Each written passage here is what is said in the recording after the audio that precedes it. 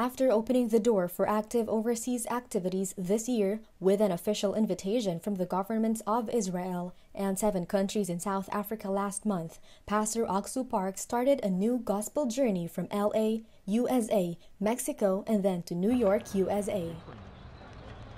From the 14th to the 17th, Pastor Ock Soo Park held the Latin American United Retreat, CLF Conference, and World Easter United Worship in Mexico. Among these is the Central and South American Union Conference, an event held to celebrate the Easter holiday, a festival of Christians worldwide and the biggest holiday in Latin America. As a result, 2,500 church members and 700 Christian pastors from 18 countries in Latin America attended the site while observing the quarantine rules. It became an event that the world can share through YouTube and social media broadcasts. The evening service on the 12th, held as the opening event, started with a congratulatory performance of the Mexican choral group Alba, followed by the opening declaration of missionary Shin Jae-hoon of Mexico City Church and the prayer of the representative missionary of Buenos Aires Church, Argentina, Kim Do-hyun. Then a world cultural performance prepared by alumni and young members of the Mexican Overseas Volunteer Corps was held with enthusiastic cheers, and the Gracias Choir took the stage. The Gracias Choir's on-site stage, which they had only met through the Easter cantata, Christmas cantata movies, and stage videos due to the pandemic, received thunderous applause from the attendees.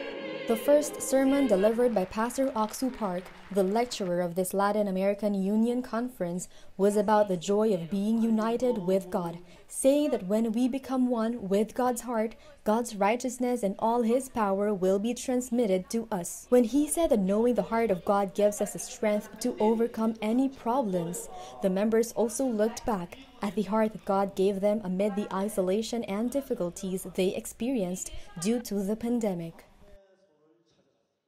Eh, he estado principalmente muy emocionada. Yo como joven, este, como que ya era tiempo de salir, también este, ver a los hermanos, a mis amigos, a mis familiares, de hecho de que también son salvos, eh, con mucha energía, con la palabra de hoy, este, así me he sentido.